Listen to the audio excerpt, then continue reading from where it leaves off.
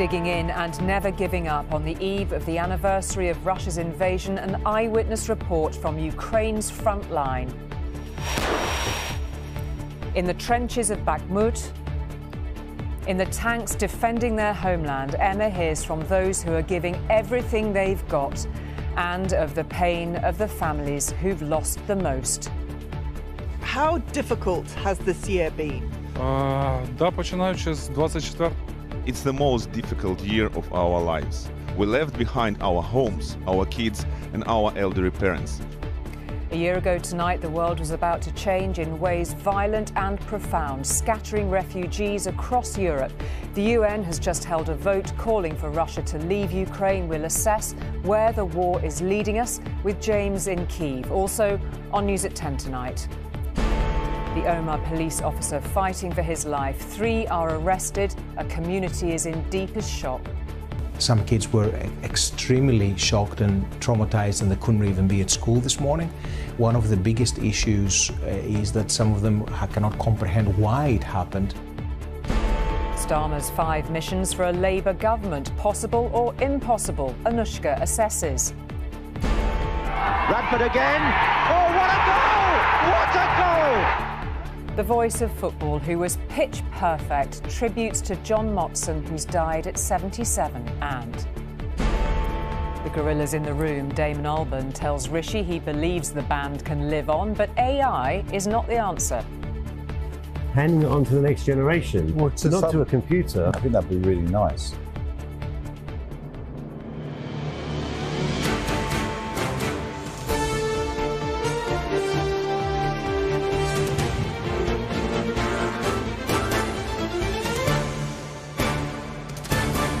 This is ITV News at 10 with Julie Etchingham.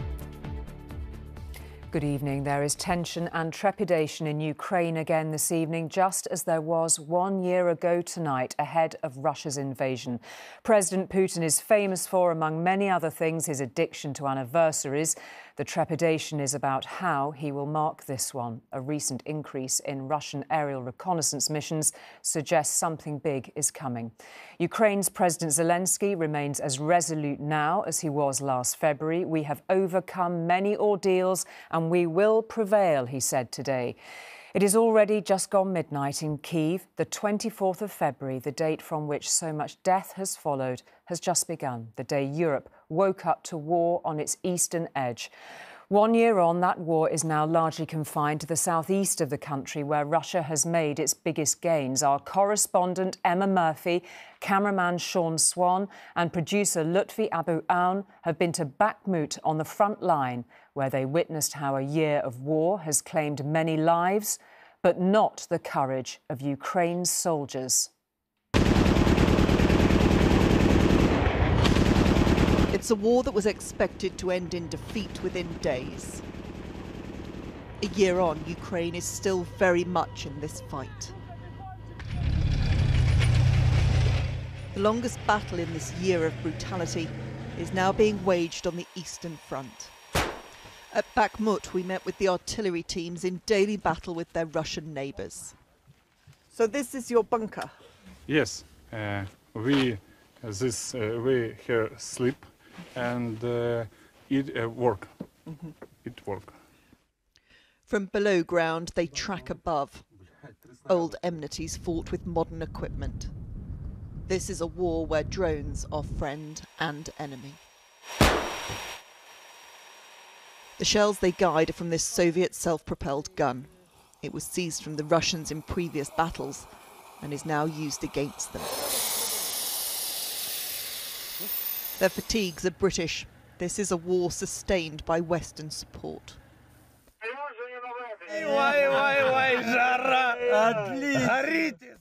As targets are hit, there's no hiding the hatred nor sense of small victory. After a year of battle, the ambush of land and life takes a toll. How difficult has this year been? А, да, починаючи з 24 it's the most difficult year of our lives. We left behind our homes, our kids, and our elderly parents. We are constantly on the front line. It's physically difficult. Emotionally, it's even harder.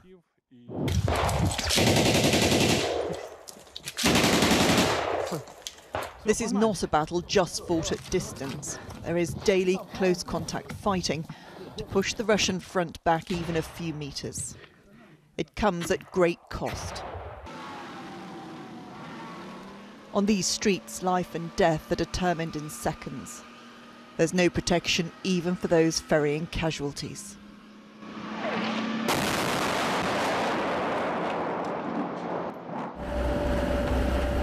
However solid the armour, there is only so much protection. But the front line runs for miles, and troops must move along it. They do so at speed, aware they're constantly at risk from attack. For the fighters, these are not foreign fields. They are the fields of home. The Russians are a kilometre away and closing in.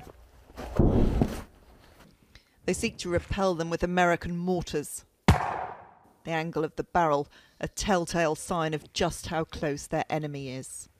They retreat in case of counterattack and then prepare to refire. They're firing these mortars off in quick succession, but they have a real issue with supply and demand. They're not getting enough through because there's delays in the supply lines, and their plea to the world is we want more. For these soldiers, the prize is their land. The price is their lives. Much of their protection is from Western weaponry. American mortar gun M224. Very great uh, things in our ammunition, and uh, we use it to shoot uh, enemies uh, from one to three kilometers. Over there. Over there, the, in the front line. Were you always a soldier? No, no. Before the war, I was a manager in a uh, company which uh, sell some things in Amazon and uh, not a lot of. Uh, I'm not a soldier in uh, previous my life. You are now. I, I'm, but now I'm a soldier. I'm a commander. I have a team, and we try to uh, do some good in this war. Many of those to whom this area was home are either dead beneath their land or in flight far from it. But some have held on, no fight or flight left. At 83, Alexander Kushlenko was evacuated from Bakhmut when his wife was injured. He's no idea where she is now and is living in a shelter on the front line. I don't want to leave. Maybe they will liberate soon and I can go home. But maybe in the end everything will be destroyed. Across Ukraine, soldiers who pledge themselves to defend this land go to their graves in their thousands. Their battle's at an end. They will never know who was the victor in the war that they gave their lives for. Emma Murphy, News at 10, Eastern Ukraine. Well, this evening at the United Nations, in a vote full of symbolism but very little force, the General Assembly of all member countries called for Russia to pull out its troops. President Zelensky said this week he believes Ukraine can win the war this year. Our own Defence Secretary Ben Wallace said today he expected it would be at least another year, suggesting this first anniversary may not be the last. The sudden, unprovoked, aggressive invasion of a democratic country, the attempt to conquer and subjugate by force those who wouldn't buckle to your will. And in Europe, the continent where the two worst wars in human history were supposed to have taught us better. By the time the Ukrainians went to bed on the 23rd, the world knew it was coming. American intelligence had predicted it almost to the day. Kiev was anxious not to provoke, but was quietly prepared and equally quietly confident they'd survived the onslaught. Did you know that Russia would fight so badly? We know why because uh, we were surprised concerning the first of all mistake, mistakes of Russian Federation concerning the um, assessment of uh, Ukraine armed forces. So on that night of February the 24th, you were confident that Ukraine was going to be able to resist this invasion. Yeah, yeah. I, I, I was not surprised that we, in that period of time, we stopped the movement of uh, offensive operations of, uh, of Russian Federation in many directions. If the Ukrainians weren't surprised, Russia's oligarchs certainly were. Hauled in the morning it happened to be told support the invasion or else. This was truly Putin's war. A year later, and hundreds of thousands are dead. This, all of this, is Ukraine's wall of heroes, its remembrance of its war dead. New names and photographs are being added every single day. Such are Russian casualties that if they ever set up something similar in Moscow, it would run for several city blocks. And for what? For what have cities like Mariupol been razed to the ground, its population dead or displaced, many of its children forcibly removed to Russia? For what have suburban towns like Borodyanka been gutted, families bereaved, forced from their homes, often forced from their country? A war so pointless and so doomed to fail that Ukraine's national security advisor confidently believes it'll end with the destruction not of Ukraine but of Russia itself. The West does not understand the way things are. The process of disintegration of the Russian Federation has already been put in motion, and no negotiations or compromises will stop it. It is impossible. Я хочу, щоб всі це розуміли. Ви не могли зробити так, щоб в Турції не You стався couldn't stop the earthquake in Turkey. It is impossible. Це неможливо. The earthquake in Russia Так has ось, already е, begun. початок землетрусу в Росії вже розпочався. In one of the most surreal moments of this whole sickening war, the authorities in Moscow tonight mark the anniversary with fireworks. 200,000 casualties on their own side alone, in a war of their own choosing, apparently something to celebrate. Elsewhere, as here in Trafalgar Square tonight, the tragedy of Ukraine was a moment for solemn vigil and visible expressions of solidarity with its victims. And James is in Kiev. I mean, just astonishing images from Moscow in your report there, James. We've had that symbolic vote at the UN tonight, but in the end, it makes the route to the end of this conflict no clearer. Uh, no, because it is, as you say, symbolic. Big majority in the UN General Assembly. The good news is that uh, Russia can't veto it. The bad news is that it's not binding on them. And also that they had a similar vote a year ago, at which 141 vo- countries voted to demand Russia uh, leave Ukraine's borders. Tonight, 141. So, uh, throughout a, a year of hundreds of thousands of casualties, unprovoked aggression, massive disruption to the world's food and energy supplies, international opinion has not shifted one jot. China, India, South Africa uh, still abstaining. Uh, You know, it was at this time exactly a year ago. It's after midnight here in Kiev, and it was clear to us then uh, that the attack was coming. And I remember thinking, well, this is going to change the world. And in many ways, it did change the world. But also, I mean, after tonight and with the war stuck in stalemate, you do really begin to wonder how much has changed, and indeed when, whether anything much more is going to change before we get to the second anniversary of this war in a year's time. Indeed, James, thank you very much indeed for that. Now, for anyone who doesn't remember the troubles in Northern Ireland in those desperate times before the peace process, the shooting last night of a senior detective was the worst kind of reminder of the mentality, the inhumanity of Republican gangsters with a terrorist agenda. Detective Chief Inspector John Caldwell was shot several times by two men as he and his young son loaded footballs into the back of his car. He managed to run a short distance. When he eventually fell, the gunmen kept firing. The police have used many words to describe this attack brazen, callous, reckless. After two masked gunmen chose a car park full of children to shoot a police officer multiple times in front of his son. Detective Chief Inspector John Caldwell remains critically ill in hospital. He is a high profile officer This afternoon, detectives from the major investigation team who's fronted many high profile investigations, but he was off duty last night when he was targeted. John was finishing up from coaching an under 15s football team. He was accompanied by his young son um, and, in fact, putting footballs into the, the boot of his car. Uh, when two gunmen appeared, fired multiple shots, John ran a short distance, and as he fell to the ground, the gunmen continued to fire shots at him. At this time, there were many other young pe- uh, people, children, awaiting pickup by their parents, and those children ran for cover in sheer terror towards the, the centre.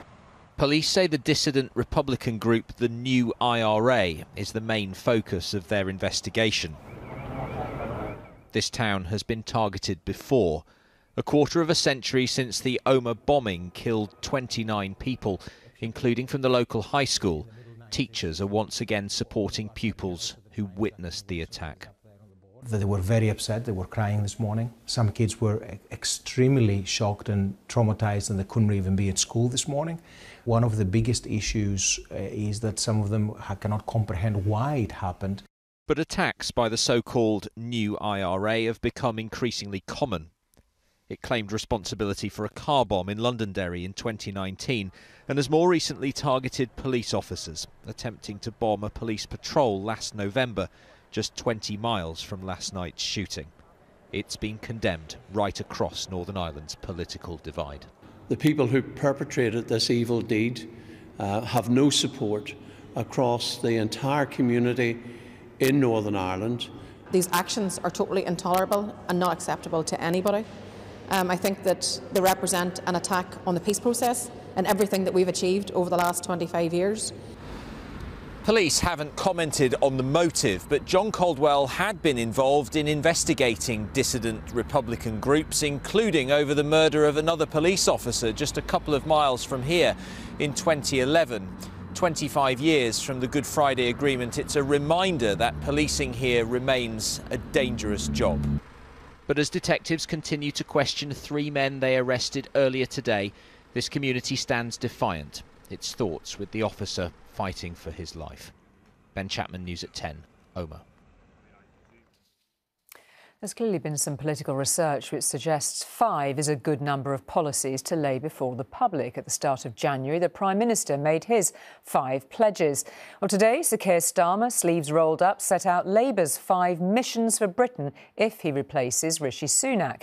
They include economic growth, clean energy, the NHS, safety on the streets, and changes to childcare and education. At the Co op's iconic headquarters in Manchester, Labour's manifesto began to take shape today, where the short termism of politics was Keir Starmer's main target. A sticking plaster, never a cure. His answer? Mission driven government. Five missions, to be exact.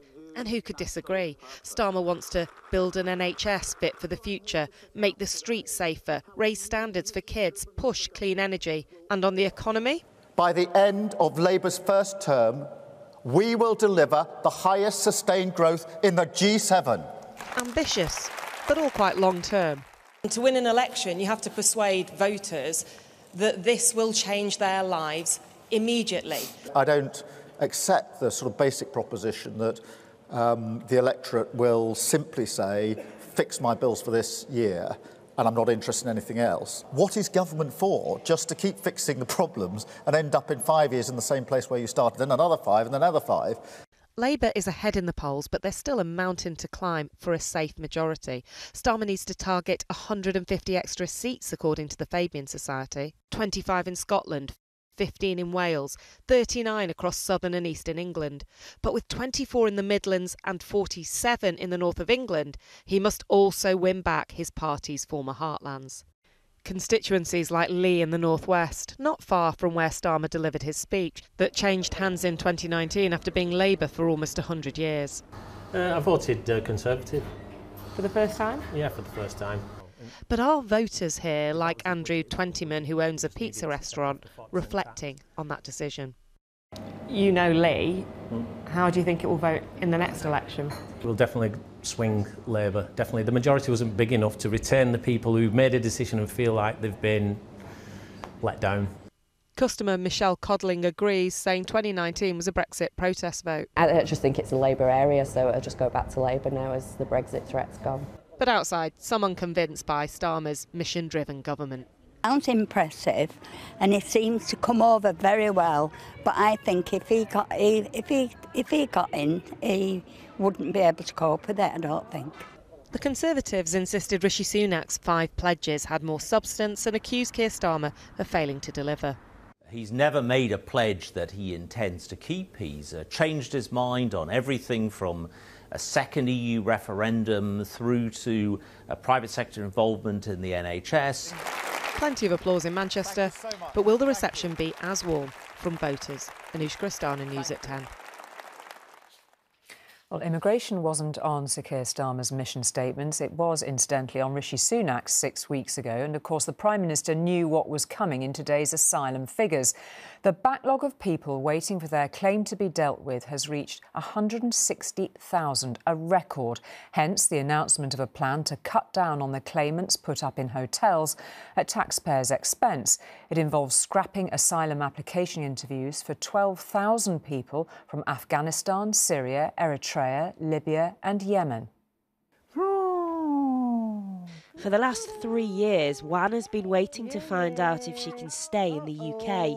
She fled domestic abuse in Malaysia and is desperate to provide for her young son but a huge backlog in asylum claims means she's stuck, shuttled between hotels and temporary accommodation with no place to call home. We want to improve our life uh, by contribute to the country like uh, work. So not coming here to be put in the hotel and stuck like two, three, four years without, without doing anything. What impact has that had on you personally and emotionally? You feel like suffocate in the situation. The Home Office has been beset by processing delays. The Prime Minister has vowed to stop the boats and cut the backlog. But the longer a decision takes, the more people end up living in hotels, costing millions every day. We will triple the productivity of our caseworkers, and we expect to abolish the backlog of initial asylum decisions by the end of next year. More than 70,000 people applied for asylum in the UK last year, the highest number for a decade, while the backlog of those waiting for an initial decision is now at a record high.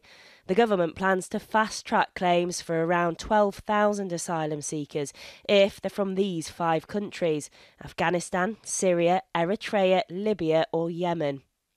That will include some of those who have arrived on small boats.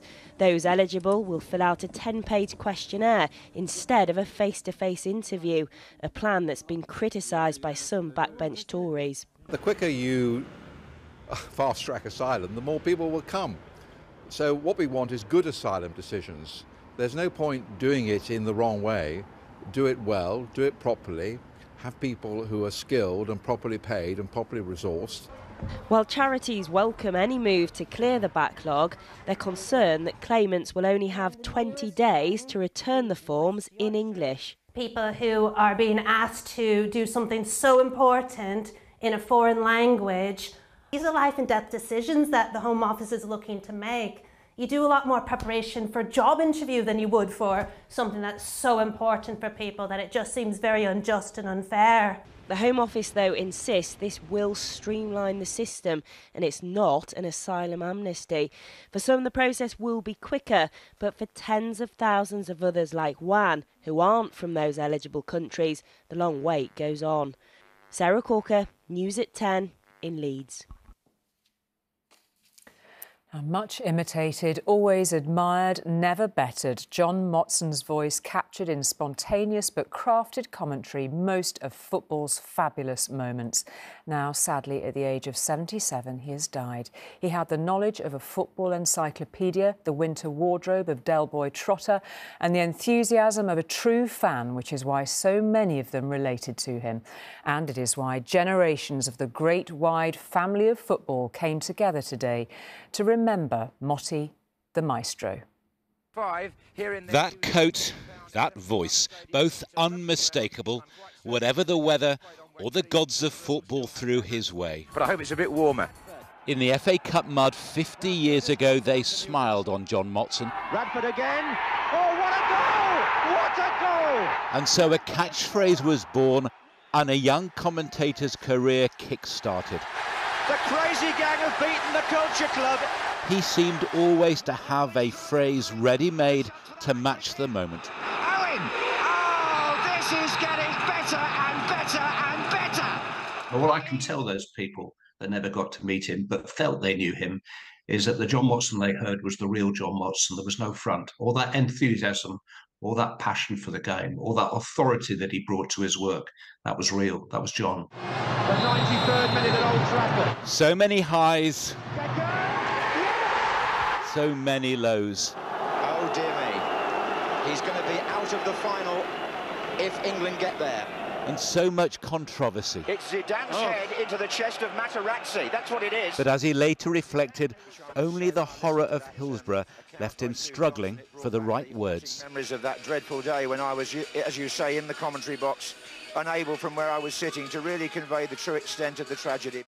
They do have a fantastic noise coming from the left-hand end here. From his seat in the stands, he commentated on two and a half thousand games. You are the eyes and the ears of the viewer. For each, the meticulous preparation of a self-confessed soccer obsessive. You know, if I wasn't commentating on, on a Saturday or a Sunday, I don't quite know what else I'd be doing.